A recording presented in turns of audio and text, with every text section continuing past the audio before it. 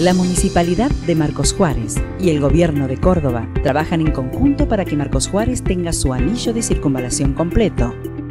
La obra de circunvalación oeste, que avanza sin pausas, será fundamental para todos los marcosjuarenses.